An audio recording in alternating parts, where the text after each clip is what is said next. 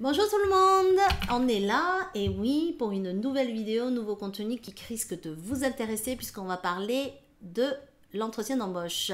Alors si le contenu vous plaît, si tous les, tout ce qu'on a fait avec Lucas vous plaît, je vous invite à liker cette vidéo, à le repartager parce que vous pouvez aider quelqu'un et ce sera super. Voilà, exactement, très bonne intro.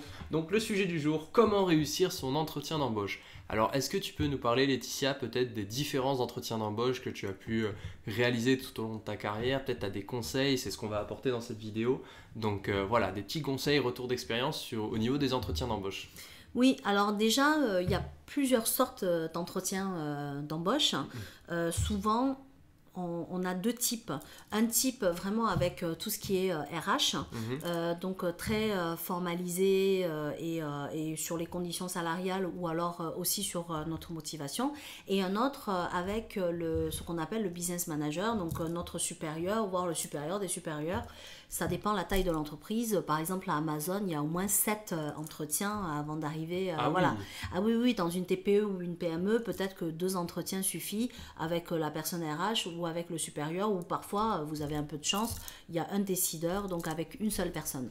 Donc euh, déjà, euh, selon euh, le type d'entretien, on n'est pas préparé pareil. Mhm. Donc au départ, on est souvent approché par une personne RH en disant, ben voilà, vous avez postulé à tel poste, comment, voilà, vous avez ça, parlez-moi de vous, etc. Et, et donc là, c'est vraiment formalisé pour confirmer que ce que vous avez marqué sur le CV est conforme en tout cas à la personne que vous êtes et que vous savez que, que c'est du réel. Donc c'est de la vérification euh, souvent le premier entretien, et bien là, il faut être euh, factuel. Euh, mhm. Et ce qu'il ne faut pas oublier, c'est que du moment où on est en entretien, peu importe que ce soit téléphone ou ce soit le premier ou autre, on commence déjà à se vendre. Oui. Voilà, donc ça, voilà, on, Déjà va pas.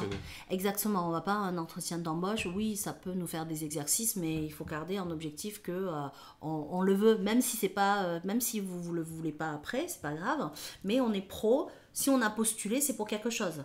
On n'a pas, dit je vais m'entraîner à l'entretien, je vais postuler pour voir. Hmm. Déjà, vous n'êtes peut-être pas pris, vous n'aurez même pas votre entraînement.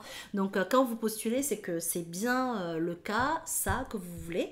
Et, euh, donc, le premier entretien, c'est ça. Ensuite, si vous avez séduit, en tout cas, que vous avez montré que vous avez de la motivation. Mhm. Donc, moi, mon conseil, c'est d'être toujours dans un ton dynamique, d'accord Ne veut pas dire euh, stressé, hein, ah, ben alors... Euh, et, et, euh, et, ensuite de t'expliquer tout simplement votre parcours et pourquoi vous avez postulé. Donc le pourquoi est très important.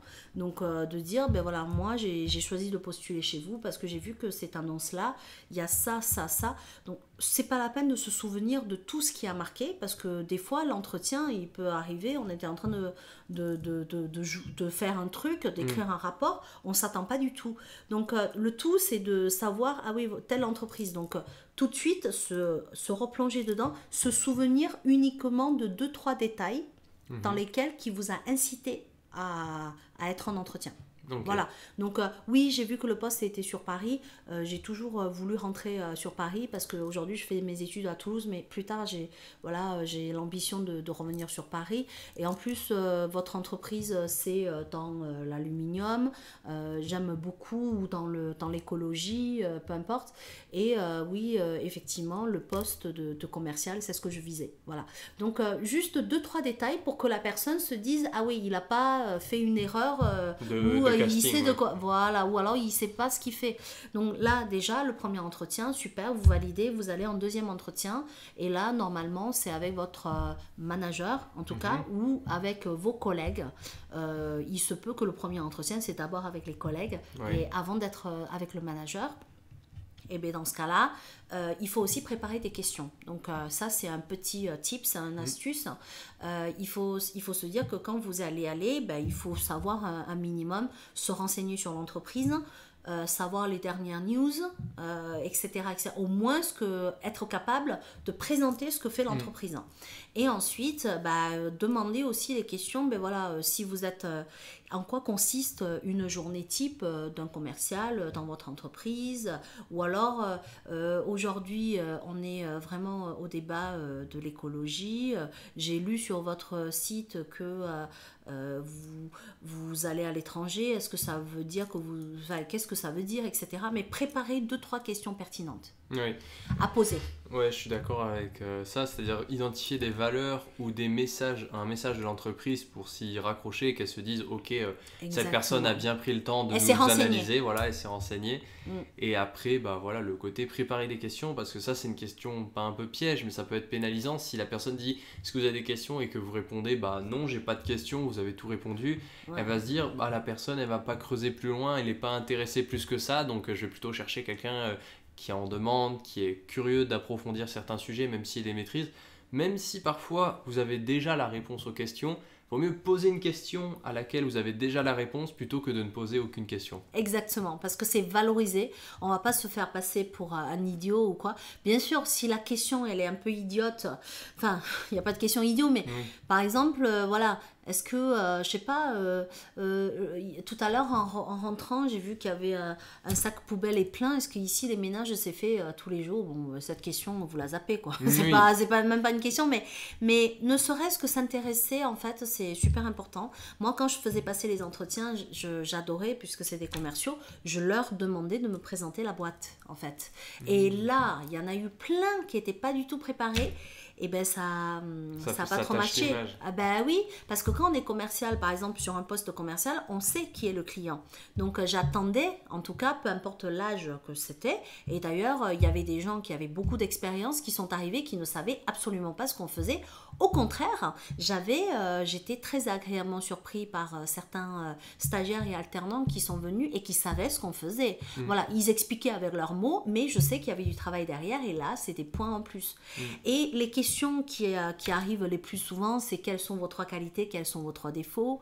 Euh, il faut s'y préparer. Il ne hmm. faut pas trop se saquer euh, sur les questions de défauts, hein, parce que voilà. Donc il faut, il faut quand même, et il faut jamais dire les défauts comme ça. Donc par exemple, je prends l'exemple, voilà, je suis, mes défauts c'est je suis timide, j'ai du mal à parler en, public, et puis de temps en temps, je, je, je, bègue, je bègue un peu, je perds mes moyens complets. Voilà.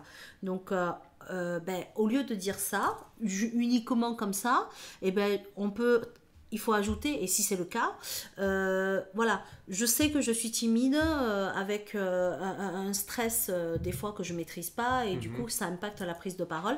Mais par contre, je suis très consciente de ça j'ai déjà pris euh, des cours, donc je, je, me, suis inscrit sur euh, le théâtre, j'ai pris un coach en euh, prise de parole et du coup je suis en train de travailler là-dessus. Ah, là c'est beaucoup mieux. Nuancer ses défauts en apportant une value, c'est-à-dire pas dire je, enfin là j'ai un point faible, mais dire là j'ai un point faible, je l'ai identifié et je travaille dessus pour que ça devienne un point fort. Oui, c'est ça. Et puis, et puis il faut faire attention à ce qu'on dit aussi. quoi. moi j'ai entendu, mais c'était hilarant, la, la, la la personne euh, qui arrive euh, sur, euh, sur l'entretien, je lui demande donc quels sont les défauts qu'il pense être les, les plus impactants. il m'a dit bah, qu'il n'aimait pas faire le ménage. Franchement, franchement, je, bon, ok, d'accord, il a répondu à la question, mais est-ce que c'était pertinent? Non. Euh, non, en fait. Donc, euh, il faut aussi être en adéquation avec, euh, ce qu'on dit. Voilà. Et puis, tout le monde a, une liste de qualités, tout le monde a une liste de défauts. ben, on pioche, quoi. oui, c'est ça. On choisit les plus pertinents à avancer. Et, et après, le but, c'est de les contrebalancer. Mm, tout à fait. et être honnête. Donc voilà, oui, surtout aussi l'honnêteté, pas gonfler les, les, CV, parce que ça, réussir son entretien d'embauche, c'est vrai qu'il y en a parfois qui peuvent être amenés à, à, comment dire, à mentir sur soit ce qu'ils sont ou ce qu'ils font, et de toute façon, tôt ou tard, ça finira par savoir et ça par se, sait. Ça, se, ressent aussi. Exactement. Du moment où il y a le verbal, il y a ce qu'on dit, ce qui est écrit, et il y a tout le non-verbal. Hmm. Donc euh, si quelqu'un dit, ben moi, euh, j'ai toujours travaillé en commerce, euh, la relation humaine, je la connais, la relation clientèle, si elle arrive, elle est comme ça, on dirait c'est la première fois qu'elle voit quelqu'un, c'est là, c'est pas top. Ça t'est déjà arrivé d'ailleurs?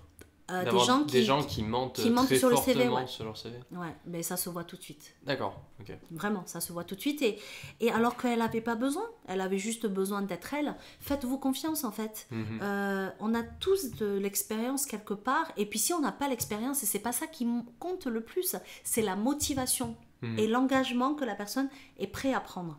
Moi, j'ai donné des postes à, à des personnes qui étaient euh, moins expérimentées, mais elles avaient tellement la niaque et tellement apprendre. cette motivation que je sais que euh, en deux semaines elle aura rattrapé le retard et puis euh, et puis elle elle va monter un crescendo et que c'est un super élément par rapport à l'équipe. Donc là je suis prête à parier et l'accompagner en fait. Et ça c'est le plus important. C'est la motivation qui est importante. Souvent on se dit ben voilà on n'a pas l'expérience c'est pas grave. Mais par contre si on montre qu'on est motivé etc c'est ce que la personne va retenir c'est émotionnel hein. l'expérience c'est très euh, sur le côté euh, logique Mhm. alors que euh, la motivation, tout ça, on joue sur le cerveau humain, sur le côté émotionnel. Mhm. Et ce côté émotionnel, si on arrive à l'activer, et ben là, on, on- bingo quoi. Voilà. Ok, bah, je pense qu'on a fait un tour global. Est-ce que tu as un dernier truc qui te vient là comme ça ou on a, on a tout, tout abordé au niveau de la, de la réussite d'un entretien d'embauche. Parce que là, on a donné pas mal de conseils, de tips dans la façon d'être, d'être naturel, euh, aussi pas gonfler son CV, euh, préparer les qualités, les défauts, aussi anticiper son entreprise, c'est important, bien la connaître, euh, identifier ses valeurs. Est-ce que tu vois un truc qu'on aurait oublié là comme ça ou on a fait le tour? Non, en trois mots, euh, en fait, se préparer, donc c'est d'être confiant, parce que voilà. Ensuite, être euh, authentique et, et sincère. Et puis, euh, tout simplement, être motivé. Ok. Trois qualités. Bah retenez ces trois qualités. Merci d'avoir regardé la vidéo jusqu'au bout. N'hésitez pas à lâcher un petit like comme d'habitude et à laisser un commentaire si vous avez des questions ou des remarques. On se retrouve très vite dans une prochaine vidéo.